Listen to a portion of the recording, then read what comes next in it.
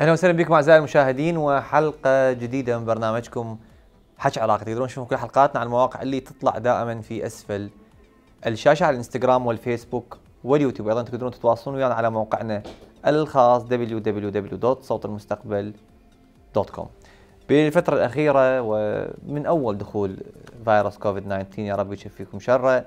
صار اكو تعليم عن طريق المنصات والتعليم الإلكتروني اللي كلنا نعرف به. ولكن سؤال مهم. هل هذا التعليم يفي بالغرض داخل العراق. هواية نسمع أنه الناس يقولون ما يفي بالغرض. الناس الطلاب ما قاعد تستفاد من, من هذه المنصات والمواقع. واثنين في حال استمرار هسه السلاله الجديدة كيف حيكون ال ال الوضع بالنسبة للاختصاصات اللي تحتاج الذهاب إلى الجامعات سواء مختبرات أو عيادات أو الأشياء اللي تحتاج الذهاب إلى إلى هذه الأماكن المخصصة. وحتى نتكلم أكثر في هذا الموضوع. أنا بالاستوديو أستاذ الإعلام الرقمي وتدريسي في جامعة بغداد كلية الإعلام الأستاذ صفد الشمري. حياك الله أستاذ. حياك الله حبيبي. شلون صحتك؟ أهلا وسهلا. الله يخليك. حبيبي. أستاذ آه، اليوم التعليم صار إلكتروني. صار تقريبا دخلنا إحنا في السنة الثانية. ثاني نعم. وهواي يسألون ال- ال- التعليم الإلكتروني ليش ما يفي بالغرض بالنسبة للطلاب والطلبة؟ حقيقة إثارة هذا الموضوع. بما يتعلق بالتعليم الإلكتروني والجدوى من عنده في العراق تحديدا مم. غاية في الأهمية وخصوصا نحن اليوم تقريبا مرور عام على جائحة كورونا. مثل ما حضرتك أشرت ومر علينا تجربة تجربة التعليم الإلكتروني ب- بشكلها المطلق يعني مم. لأول مرة في العراق صح. السنة اللي مضت وبالتالي هذه تقريبا نصف سنة دراسية في. العام الآخر الثاني وبالتالي تقريبا سنة ونص تجربة تعليم إلكتروني كان يفترض أن يكون الغرض يعني مستوفية ال- الأغراض المفروض أن تكون تدري أنت تجربة سنة ونص. المفروض يعني أعتقد هي كافية خبرة. المفروض. إيه. وصير المفروض تكون لكن خبرة. لكن هناك إشكاليات تتعلق في قضية أولا المهارات هاي دائما نتحدث عنها المهارات الرقمية تلك المشكلة الكبيرة التي يعني وين تقع بالدرجة الأساس؟ تقع بالدرجه الأساس التدريسيين أنفسهم. أساتذة الجامعات إيش قد يقدر يوظف التقنيات المتوفرة؟ إيش قد يقدر يوفر الإمكانيات المتوفرة؟ إحنا آه، الحديث عن أي جانب رقمي يتطلب الحديث عن فجوة رقمية. الفجوه الرقمية هذه ما يطلق عليه ال- ال- الفرق بين الشمال والجنوب. أي الف- الفرق يعني بالنسبة لنا بيننا وبين الغرب. هذه هي الفجوة. طبعا هي قائمة وست. وستدوم هذه الفجوة. لكن إحنا مشكلتنا في العراق مع ثلاث فجوات فيما يتعلق بالتعليم الإلكتروني. الفجوة الأولى الفجوة هذه السائدة اللي نتحدث عنها الفجوة بين الشمال والجنوب. الفجوة الأخرى اللي هي الفجوة الرقمية بين الجامعات العراقية وبين ما هو إمكانيات متاحة من إمكانيات رقمية في العراق. يعني لديك أنت إمكانيات رقمية في العراق لكن للأسف الجامعات العراقية لحد اليوم لم تستثمر تلك الإمكانيات وتلك الأوعية وكانت فقط إنه في حدود متطلبات معينة مثلا درس الحاسوب أو في حدود مراسلات معينة لم تفعل الجانب الرقمي. فبالتالي حينما وصلنا إلى مرحلة التعليم الإلكتروني بشكل الجاد والحقيقي حدثت هناك حقيقة صدمة لدى الجامعات بالمطلق الجامعات العراقية أنه صح. صارت هناك وقفة كيف تتعامل معه أضف إلى ذلك الفجوة الأخيرة اللي هي الفجوة الرقمية داخل الجامعات بين الأستاذ وبين الطالب آه. يعني دائما تشوف أنه الكفة لمن تميل تميل إلى الطالب تشوف الطالب. الطالب تكون عنده إمكانيات رقمية صح. أكثر من آه، الأستاذ إيه. مو لأنه لا مو, مو لأنه الجامعة درسته وهذا هو ليس قصورا على الجامعات ولا- لأن هو بحكم عمره وبحكم تداوله وبحكم كذا صارت عنده وبالتالي صارت هناك حتى صورة التدريس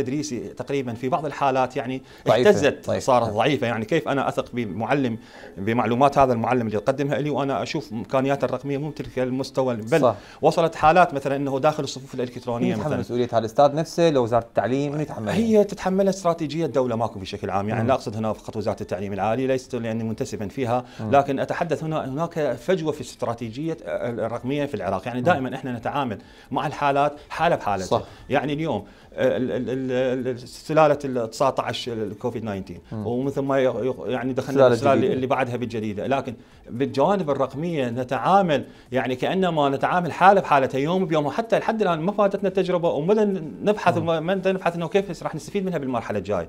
فتشوف خلال فترة التراخي انجاز التعبير بين قوسين اللي فترة اللي مضت اللي قالوا تقريبا السلالة انتهت في العراق وبدا وضع طبيعي يرجع وكان هناك آمال بأن يعود التعليم حضوري صح، في العراق. صح.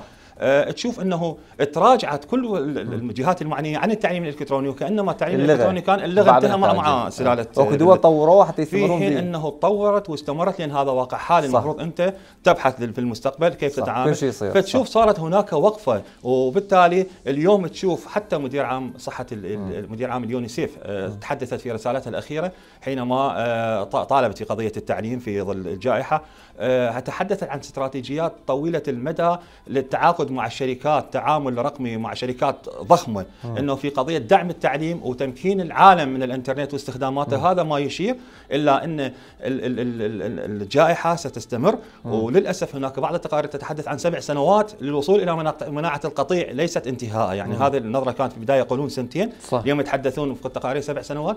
وبالتالي هذا يتطلب من الدولة العراقية بشكل عام أن تعنى أو, أو تكون معنية في قضية إحداث استراتيجية لتطوير التعليم صح. الإلكتروني. يعني هو الموضوع صار يعني ما يخفى على احد إنه أساتذة ما عندهم حتى مواقع شخصية لا فيسبوك لا يستخدمون التليفون الحديث وبالتالي وكانما تفاجئوا ب- بال- باللي يصير تفاجأ وسط حالات إنه بعض الممارسات الرقمية بعض الأساتذة لاحظ إنه يكلفون طلاب أن يقيم له محاضرة فيزوده بالمعلومات آه. وبالتالي هذا الطالب هو اللي يوجه المحاضرة. باتجاه معين وهذا هذا الطالب يتحدث بين أقرانه وهو طبعاً. لا يجوز يعني طبعاً. فبالتالي هناك ما ما- يجري الحديث عنه يعني منذ بداية ال- القرن الحالي إنه ما يطلق عليه بمواصفات المعلم معلم القرن ال21 المفروض يتمكن من تلك الأدوات صح. بشكل عام صح. يعني هذه المواصفات تحدثوا عنها قبل الجائحه آه. بالتالي تشوف اليوم الأستاذ لحد اليوم لا يعي الكثير من المهارات الرقمية. صح. وأيضا جانب آخر. يعني نتحدث إحنا دائما. المفروض تكون هناك إلزامات يعني إلزامات حول من؟ يعني مثلا مثل ما هناك الأستاذ الجامعي حينما يدخل الجامعة وهناك متطلبات ترقية هناك متطلبات تع- تعيين متطلبات معينة تقول له المفروض تطالبه في قضية كفاءة الحاسوب بشكل عام تطالبه في الحاسوب أقصد هنا بالشكل الابتدائي وليس استخدامات ال- تطالبه في قضية كفاءة اللغة الإنجليزية قد. تطالبه مثلا في كفاءة اللغة العربية لكن أو في كفاءة مهارات طلاق خاصة التدريس. الأستاذ الجامعي اللي هو يعني يعني المفروض واصل مرحله المفروض. اليوم تطالبه بقضية المهارات الرقمية. صح. المهارات الرقمية. يعني نتحدث يعني البارحه أنا كنت في ضيف في شبكة الإعلام العراقي للحديث عن هذا الموضوع المهارات مع آه، مدراء التشكيلات. أحد السادة المدراء يتحدث لي يقول لي إنه حتى ال- الموظف ال- حينما تزجه في دورة رقمية ويرجع ويشوف ماكو أدوات يتعامل وياها. فبالتالي ينساها وما يشوف لك. أكو أكو ورش لوزارة التعليم العالي يسوون ورش للأساتذة. تلك هي المشكلة. ال- الورش ما زالت لحد الآن عبارة عن محاضرة صوتية يلقيها تلقيها فرق مختصة بهذا الاتجاه وبالتالي المفروض تكون تكون. هناك آه العملي في في في حد محدود. خجول، نعم. وخجول. يعني ليس بمستوى الجائحة. يعني جانب أيضا يرتبط بهذا الموضوع يعني فوق الورق هذا التخبط اللي بالقرارات يعني أنت مو معقولة مثلا تتحدث اليوم أنت تقريبا 50% من العام الدراسي آه، وصلت إلى ولحد اليوم عندك أكو مشكلة في قضية إنه تحديد الآلية الفترة المقبلة. أنت مرتبط بمن؟ بقضية خلية الأزمة. أزمة. أتحدث أيضا عن التعليم ال- وزارة التربية إيه. ليس فقط التعليم الجامعي نفس- نفس- يعني نفس المشكلة لحد صح. اليوم ما يعرفون اكو نص سنه أكو كذا؟ يعني صح. مدراء مدارس لحد اليوم يعني هم يتعاملون مع الوضع على إنه هناك صح. آه، نصف سنة وبالتالي أنت تتعامل ووزارة التربية لا تعلم من نصف السنة وهناك مثلا حتى في التعليم الإلكتروني يوم وزارة التربية تشوف جزء يراجع الفصل الأول جزء بلش في الفصل الثاني وأنت لحد الآن ما مجتاز متطلبات الفصل الأول هذه الفوضى صح. فوضى أخرى تتعلق بهواية تفاصيل يعني أنت ما معقولة مثلا أنت اتجهت للتعليم الإلكتروني وقلت هذا التعليم الإلكتروني هو بديل عن التعليم الحضوري أنت مو معقولة مثلا عندك يعني التعليم الحضوري نفس متطلباته أنت وجدته لكن الأدوات والأوعية اختلفت هنا مم. يعني أنت ما معقولة مثلا آه، عطلة أعلنت مثلا بمناسبة آه، ذكرى استشهاد الإمام الكاظم عليه السلام. فالمفروض حينما تكون هناك عطلة في التعليم الحضوري الحضوري عطلة أنت ما معقولة الحد ليلة العطلة الحد بالليل لا الطالب يعرف لا المعلم يعرف لا المدرس إنه ثاني يوم أكو أكو دروس لو ماكو دروس صح. ف وبالتالي آه، ليلة المفروض هذه تكون سياقات واضحة إنه أنت مثلا في حالة تكون عطلة رسميه لا يوجد هناك تعليم الكتروني أو حضوري. نعم. عطله رسمية. زين يعني أخيرا اليوم شلون راح نقدر نعوض؟ إذا إحنا هسه عندنا مشاكل راح نقدر نعوض المختبرات والعيادات والأشياء اللي مل يعني الأطباء يحتاجون عيادات المحللين يحتاجون مختبرات. هذه شلون تعوض عن طريق هي المنصات؟ المفروض يعني إحنا اليوم هناك جامعات شهيرة في الولايات المتحدة الأمريكية في بريطانيا. آه. هذه الجامعات معروفة على مستوى العالم وتعتمد التعليم الإلكتروني الافتراضي. فبالتالي يعني التعليم الافتراضي هنا وهذا وفق مقاييس جودة عالمية عليا. يعني المقصود آه، ما أريد قصده هنا إن المتطلبات الجودة متوفرة في قضية التعليم الإلكتروني فيما لو أنت تعاملت معه بشكل جيد. فهذه المختبرات ممكن أن تكون افتراضية وتكون بجدوى أكثر. يعني مثلا تقنية الهولوجرام اليوم تستخدم اليوم كل الجامعات حتى وسائل الإعلام. صح. بالعالم هذا الهولوجرام اللي خلت مثلا مكالمه تجيب لك في قضية مثلا طب التشريح مكالمة تجيب لك جثة هذا راح تقدم لك اياه على شكل 3 D أمامك. صح. هذه التقنيات لم. تستخدم بأي طريقة كانت. وك- ويعني بدا يعني في العراق تستخدم بشكل خجول في وليس بمستوى الهولوجرام لقضية هذا المشاهد السينمائية ال 3 D وال 9 D كذلك تستخدمها اللي في الألعاب وفي غيرها. في حين لم لم توفرها في مجال التعليم. أعتقد هذه المجالات لو وفرت بشكل صحيح آه، التعليم ال- ال- العالي وحتى التعليم الثانوي في العراق وحتى الابتدائي سيسير بشكل جيد. التعليم الابتدائي اليوم نتحدث نتحدث مثلا عن التعليم الابتدائي في مشكلة بالتعليم الإلكتروني، ليش إحنا المدارس الأهلية اليوم حينما وفرت مثلا صار اكو اكو ولو قطع صار اكو تعليم افتراضي في هذا الموضوع. شفنا أكو رسومات حسن وسلمى. لا ولا وصوت يعني مثلا حينما تكون هناك رغبة. يعني أنت مثلا التعليم الحكومي يعتمد مثلا عن مثلا يدز له صوتيات أو أو محتويات فيديوية ودز لها مثلا على التليجرام على الواتساب على اي أي تطبيق كان ويستقبلها الطالب بشكل ممل. في حين التعليم الأهلي لا اتجهوا شانهم شان الجامعات إلى قضية ال cla- ال Classroom اللي خدمة جوجل وبالتالي صار هناك تفاعل وتواصل بين الطالب وبين من بين ال- ال- المعلم في هو كل من في بيته ويقدم التعليم بشكل رائع وممتاز. آه، نعم التعليم الإلكتروني يراد له فترة لكن. اليوم اللي يراد له بشكل أكثر إرادة رغبة تنظيم.